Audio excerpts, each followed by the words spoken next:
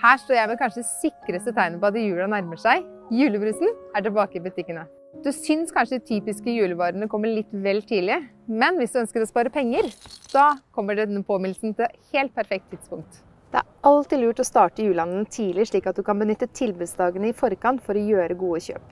Her er mine tips til hvordan du kan spare penger på julehandelen. 1. Sett opp en god plan. Hvilke gaver skal du ha?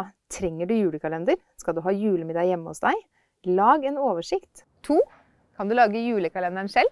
Det fins mange gode ideer til billige julekalendere rundt omkring. Noe som har blitt veldig populært, er å ha en rampenisse i hus som gjør rampestreker mens barna sover.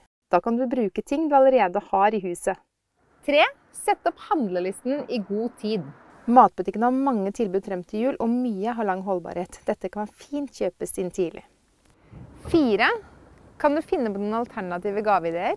Mange bruker mye penger på gaver i jula. Gave må ikke være ting, det kan også være opplevelser og tjenester. Kanskje du kan gi klippekort på barnevakt, hjelp til å flytte eller pusse opp. Eller kanskje en invitasjon til en bedre middag hjemme over jul. Bare fantasien setter grenser. 5. Benytt av tilbudsdagene før jul.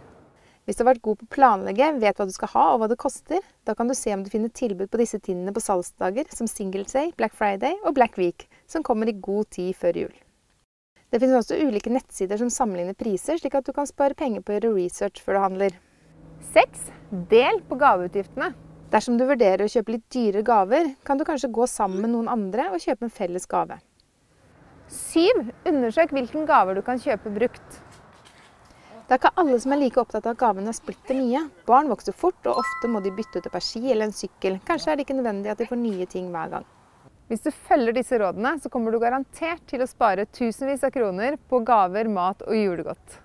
Og husk bare ikke sammenligne deg med andre, for alle har ulikt utgangspunkt. Ønsker deg en god førjulstid.